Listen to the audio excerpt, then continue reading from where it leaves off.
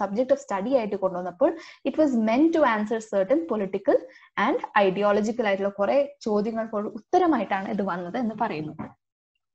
What are the ideological compulsions that rendered the constitution of India Indian literature imperative in the nineteen century അപ്പൊ എന്താണ് ഈ ideological conceptions എന്തായിരുന്നു ഈ ചോദ്യങ്ങൾ which had to be answered A closer look at the nature of scholarship produced on Indian literature during the period in question would help us to understand this problem. Okay, so if you look at the if you look closely at the nature of scholarship, scholarship എന്താണ് എങ്ങനെയാണ് അവർ അന്നത്തെ ആ വർക്ക്സിന് ഏതാണ് scholarly വർക്ക്സും ഏത് അല്ലാത്തതായിട്ട് മാറ്റിയത് okay so if you look closely at the scholarship produced during this period, we will be able to understand this problem. The 19th century and after in Indian history, it may be remembered, is the period of colonist and capitalist expansion അപ്പൊ അത് ഏത് കാലഘട്ടമായിരുന്നു? Eighteen hundreds കഴിഞ്ഞിട്ടുള്ള കാലഘട്ടം എന്ന് പറയുന്നത്.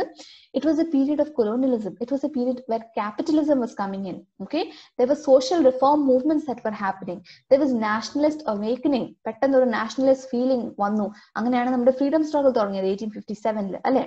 And the freedom struggle that finally led to the country's independence ഇതെല്ലാം സംഭവിച്ച ആ ഒരു കാലഘട്ടത്തിലാണ്. അതിന്റെ തുടക്കം തുടങ്ങിയത് ആ നയന്റീൻ സെഞ്ചുറിയിലാണ് right the, the freedom struggle തുടക്കം തുടങ്ങിയത് nineteen സെഞ്ചുറിയിലാണ് it is also the period of increasing modernisation we know India നമ്മുടെ എയ്റ്റീൻ സെഞ്ചുറിയിൽ ഇംഗ്ലണ്ടിലൊക്കെ ഇൻഡസ്ട്രിയലൈസേഷൻ വന്നെങ്കിലും നമുക്ക് ഇവിടെ കുറച്ച് താമസിച്ചു.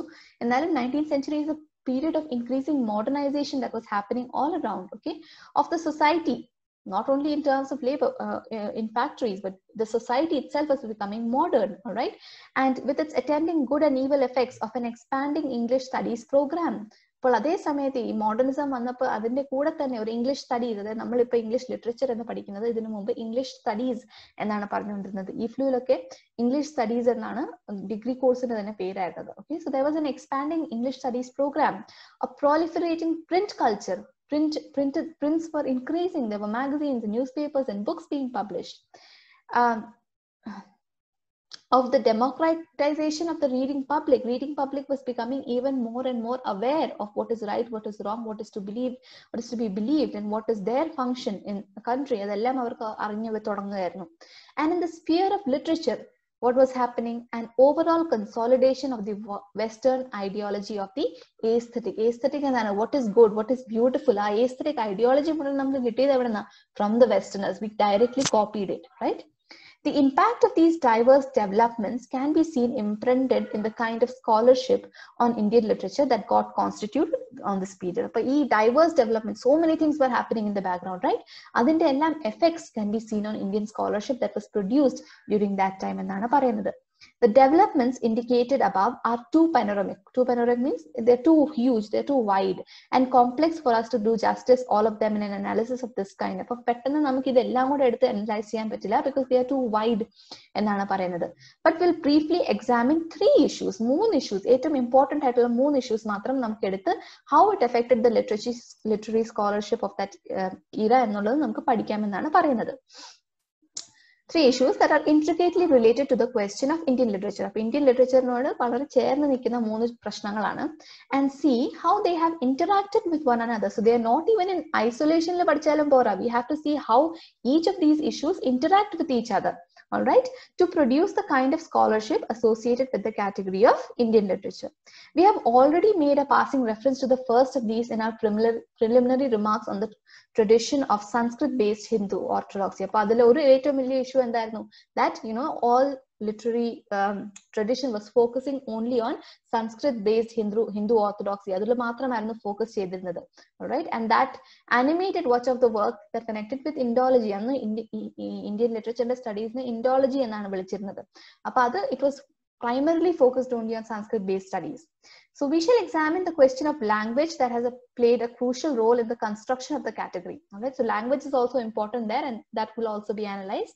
The co-option of the category of the nationalist discourse for the production of the metaphysics of a national literary sensibility will be the third issue. Okay, so first one is the, um, you know, first issue and the, the Sanskrit based orthodoxy. The second issue is the question of language that has come up. And the third issue that is will be the metaphysics, the, the nationalist discourse, you know, that changed the metaphysics of uh, national literary sensibility. എന്തായിരിക്കും national identity എന്നുള്ളതെല്ലാം form ചെയ്തത് ആണ് നമ്മുടെ third issue എന്ന് പറയുന്നത് ഇത് മൂന്നും നമ്മൾ ഡീറ്റെയിലിൽ പഠിക്കും alright the next subheading is called orientalism and after i'm sure you're uh, you're aware of this term called orientalism it's it's um, related to Edward Said and his book orientalism അല്ലെ? അപ്പൊ orient എന്താണ്? The European conception binary idea of European belief എന്തായിരുന്നു? That there is the white and there is the other അപ്പൊ Europeans ആണ് superior binary ഓപ്പോസിറ്റ്സിൽ എന്താണ്? The first term is always the superior the second term is subservient to the superior the first term അല്ലെ? അപ്പോൾ അങ്ങനെയാണ് നമ്മൾ black and white പറയുന്നത്. Sorry white and black എന്ന് പറയുന്നത്. Where white is greater and black is always lower in position. So similarly, this Orientalism came, you know, the, the, the whites and the other എന്നുള്ള ഒരു കൺസെപ്ഷനിൽ നിന്നാണ് വന്നത് orientalism basically was the very very very very ഭയങ്കരമായ ഒരു എന്താ പറയുക I am not getting the oriental view of the east that the westerners had they believe that you know a place like India is, is described as a land of flying carpets and snake charmers നമ്മുടെ അലാദിനിൽ നമ്മൾ കാണുന്ന ഒരു ലോകമില്ലേ?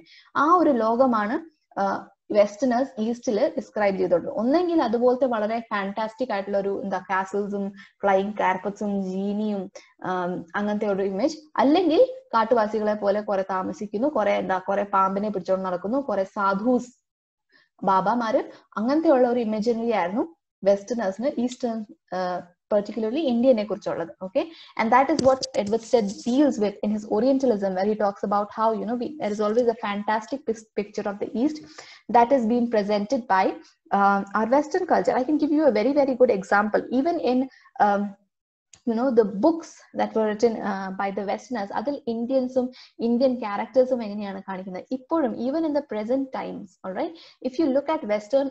TV shows, uh, if uh, and you see how the Indian characters are portrayed in that. I can give you the example of Big Bang Theory and Raj, all right, of how he he has this very very fantastic image that is there. The very good example I can give you, നമ്മുടെ Goblet of Fire അല്ലേ Harry പോട്ടറിൽ Padma and Parvati Patil അല്ലെ അവർ ആ അവരുടെ ആ ഒരു behaviourism അതുകൂടാതെ അവർ അവരുടെ യൂൾ ബോളിന് ഇടുന്ന ഡ്രസ്സൊക്കെ കണ്ടിട്ടില്ലേ ആരെങ്കിലും അതുപോലത്തെ ഡ്രസ്സൊക്കെ ഇപ്പോൾ ഇടുവോ but that is what you know that is how they view Indians that is what they are showing us and we also tend to start believing that അതാണ് അവിടെ പ്രശ്നം alright so let's see what Ravindran Mr. Ravindran is saying here much of course has been written on the western Indology and the scholarship of Indian culture that it has generated this especially after Edward Said's path-breaking critique of Orientalism was published in 1978 ലാണ് ഇറങ്ങിയത് one certainly cannot underestimate the enormous amount of research carried out on India by European Orientalists of the 18th and 19th century. ഒരുപാട് research അവർ നടത്തിയിട്ടുണ്ട് അവർ നടത്തിയില്ല എന്ന് നമുക്ക് പറയാൻ സാധിക്കില്ല we cannot under estimate that Much of what would otherwise have been lost of classical Indian scholarship was salvaged by painstaking research of scholars like Charles Wilkins, Albert Weber, William Jones, Henry Colebrooke, Nathaniel Halhed, Max Mueller, and Maurice Winters, right?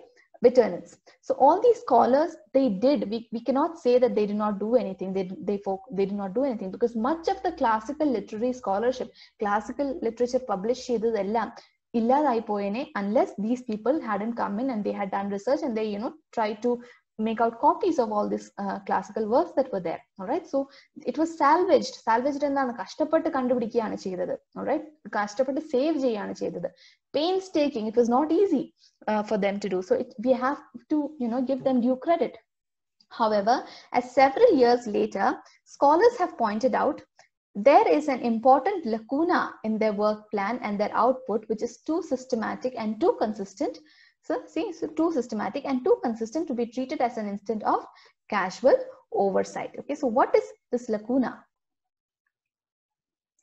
ലക്കൂന means means A gap ഒരു gap okay so അവർ വളരെ പെയിൻസ്റ്റിക്കിംഗ് ആയിട്ട് കഷ്ടപ്പെട്ട research ഒക്കെ ചെയ്തിട്ടുണ്ടെന്ന് നമുക്ക് സമ്മതിക്കാതിരിക്കാനാവില്ല but the same time there is A very very big gap in there output in there research എന്നാണ് പറയുന്നത് which is to systematic to consistent to B treated as A casual over അതായത് അറിയാതെ നമ്മൾ ചില കാര്യങ്ങൾ പഠിക്കുമ്പോൾ നമ്മൾ ചില ഭാഗങ്ങൾ അറിയാതെ വിട്ടുപോകും അല്ലെ? അത് അറിയാതെ വിട്ടുപോകുന്നതാണ് നമുക്ക് കാണുമ്പോൾ തന്നെ അറിയാം. കാരണം എന്താ? അത് വളരെ അപ്പാരന്റ് ആയിരിക്കില്ല. പക്ഷെ ഇവരെല്ലാവരുടെയും വർക്ക്സിൽ ചില ഭാഗങ്ങൾ ആ ഗ്യാപ്സ് എല്ലാം സിമിലർ ആണ്. They are too consistent alright they are too systematic അറിയാതെ വിട്ടുപോകുന്നത് ഒരിക്കലും സിസ്റ്റമാറ്റിക്കും കൺസിസ്റ്റന്റും ആയിരിക്കില്ല. സോ അറിഞ്ഞുകൊണ്ട് വിട്ടുപോയ കുറെ കാര്യങ്ങളുണ്ട് okay so it can not be treated as an instant of casual oversight വിട്ടുപോയതായിട്ട് നമുക്ക് കൺസിഡർ ചെയ്യാൻ ആവില്ല എന്നാണ് പറയുന്നത് it has it cannot be consider that manor this relates to the tacit concurrence that they gave to the division of Indian history into a predominantly Hindu ancient India, Muslim dominated medieval India, and a British designed modern India. അപ്പൊ അവരുടെ conception നമ്മൾ English ലിറ്ററേച്ചറിൽ ഞാൻ പറഞ്ഞു നമുക്ക് എന്താണുള്ളത് ചോസേരിയൻ age ഉണ്ട് Victorian age ഉണ്ട് Augustus age ഉണ്ട് ജക്കോബിയൻ പീരീഡ് ഉണ്ട് അതെല്ലാം എന്താണ് it is based on you know what was prominent during that time അല്ലെ? അപ്പൊ അതുപോലെ തന്നെ ഇന്ത്യൻ ലിറ്ററേച്ചറിലും അവർ അങ്ങനത്തെ കാറ്റഗറൈസ് കാറ്റഗറീസ് ഉണ്ടാക്കാൻ ശ്രമിച്ചു. But what they do they divided Indian literature the history of Indian literature into first category is predominantly Hindu ancient India അപ്പൊ ancient India എന്താണ്? പഴയ കാലത്ത് ഏറ്റവും പഴയത് ഏതാ? It was predominantly Hindu then came the muslim dominated in medieval india probably from the mughal period. Okay? അത് അങ്ങനെയാണ് അവർ ഡിവൈഡ് ചെയ്തത്. and finally british designed modern india അപ്പൊ modern india എന്താണ് it is the britishers who did everything ആ ഒരു രീതിയിലാണ് അവർ ഇത് ഡിസൈൻ ചെയ്തത് further the general framework of their analysis assumed that real and valuable contributions to indian literatures were made in ancient india that is the past of india prior to islamic concept conquest okay അപ്പം India Islamic conquest Mughals ഇന്ത്യയിൽ വരുന്നതിന് മുമ്പുള്ള കാലഘട്ടത്തിലാണ് real and valuable contribution Indian ലിറ്ററേച്ചറിൽ ഉണ്ടായിരുന്നത്. അപ്പൊ എന്താ അവർക്കൊരു ആ ഒരു ഇസ്ലാമോഫോബിയ നമുക്ക് മണക്കുന്നുണ്ട് അല്ലെ? So they were they were saying that ആ പ്രീഡോമിനറ്റ്ലി ഹിന്ദു ഏരിയയിലായിരുന്നു നല്ല നല്ല കാര്യങ്ങളെല്ലാം എഴുതിയിരുന്നത്. Very little of present of lit very little of the present of literary India is explored in the literary histories mentioned above. അപ്പൊ പ്രസന്റ് circumstances നെ കുറിച്ച് അതിനകത്ത് ഒന്നുമില്ല എന്ന് തന്നെ പറയുന്നു. വെബേഴ്സ് history of Indian literature discusses only Vedic and Sanskrit period അപ്പൊ വെബേഴ്സിന്റെ ഇതിലാണ് വേദിക്കും സാൻസ്ക്രിത് പീരിയഡ്സ് മാത്രമേ ഉള്ളൂ of the Indo Aryan language while വീനേഴ്സ് surveys Vedic and Upanishadic literature as well as writings in classical Sanskrit and Prakrit. See, look at this. This is all predominantly Hindu, predomin predominantly Sanskrit studies. In doing this, the two were only following in the footsteps of Sir William Jones, who before them, you know, and he was the founder of the Asiatic Society. I'm sure you're familiar with it. Uh, uh, who, as early as 1786, had declared that in his studies he would be confining his researches downward to the Mohammedan conquest of the 11th century, but expert, extend them upwards as high as possible to the earliest authentic records of human species. So, what was he doing? Uh, what were they? What was their fault? It was not their fault, she says, because uh, sorry, Mr. Ravindran says because William Jones, who as early as 1786, when he started studying Indology, he said that his studies would be concentrating bef- from of a period before the Mohammedan conquest, before the Mughal period. അതിന് മുമ്പുള്ള കാലഘട്ടത്തിൽ പോയിട്ട് but he would go as early as the authentic records of human species. ഇന്ത്യയിൽ എന്നൊരു സ്ഥലത്ത് ഈ human species ആദ്യം വന്ന കാലഘട്ടത്തിൽ തൊട്ട് തുടങ്ങും പക്ഷെ മുഗൾ ഇരയിൽ അത് നിർത്തും എന്നാണ് പറഞ്ഞത് though some later scholars like George A. Grierson have deigned to consider specimen texts from the regional languages too, a good majority of early Indologists were resolutely opposed to the idea of treating works that belong to Indian regional literatures of the modern period as a part, part of orientalist canon അപ്പൊ അവർക്ക് orientalist കാനനിൽ എന്തായിരുന്നു? ഈ Sanskrit literature മാത്രമായിരുന്നു.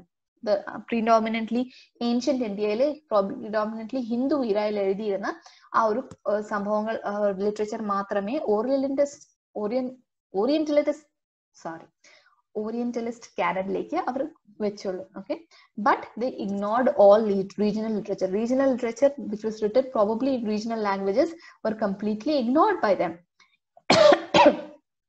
It is against this background that Said's general observations on the politics of the Orientalist scholarship assumes significance. ഇതിന്റെ ബാക്ക്ഗ്രൗണ്ടിലാണ് നമ്മുടെ സേതായത് orientalism ആയിട്ട് വരുന്നത് അല്ലെ There are many problems with Orientalism, both in terms of theory and methodology. Perfect ഒരു text അല്ല that led to the assumption widespread among post-colonial thinkers today of the presence of a historically homogeneous other in parts of what is called the third world. അപ്പൊ ആ third world conceptionല് ഒരു other എന്നുള്ള ഒരു idea ഉണ്ട് നമ്മൾ already പറഞ്ഞു. പക്ഷെ സേദിന്റെ കുറ്റം എന്താണ്? സേദ് എഴുതിയപ്പോൾ അതൊരു ഹോമോജീനിയസ് ഐഡന്റിറ്റി ആയിപ്പോയി. That means you know we know the east എന്ന് പറയുന്നത് സെയിം അല്ല. കംപ്ലീറ്റ്ലി ഡിഫറെന്റ് ആണ്. East not in terms of only India but the entire Asiatic region right so it is completely different it is not homogeneous it is heterogeneous അല്ലെ? പക്ഷേ Said എഴുതിയപ്പം it it mostly became homogeneous the third world became homo